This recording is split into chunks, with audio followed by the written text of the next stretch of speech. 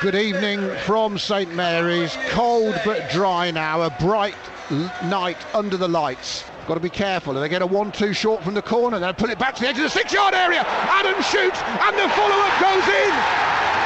And Jan Bednarek has his first goal of the season. Headed half clear by Salisu. Back it goes to Ndidi. This one's on t- target, parried and put in by Jonny Evans. Saints attacking again. Redmond, great cross, and it is third time lucky for Ché Adams. He's had two straight at Schmeichel. Now he's missed him, and the man born in Leicester scores against Leicester. Bednarek does the right thing, clears it on the half turn. What a flick from Nathan Redmond over halfway to Armstrong. Comes in field, he's got two to his left.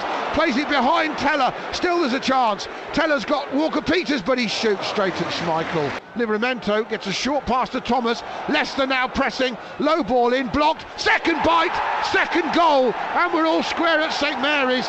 And it's James Maddison who started that, who scores the equaliser. Nutmegs Walker Peters. He's had a nightmare. And then Barnes gets the ball past Salisu. This should be 3 2. Great save, McCarthy. Well, Walker Peters hits it against Salisu. They're going to give Leicester a third. In comes the shot. Oh my goodness me. You don't see Jamie Vardy miss those much. Headed up in the air by Salisu, and the referee says that's it. It's finished all square at St Mary's.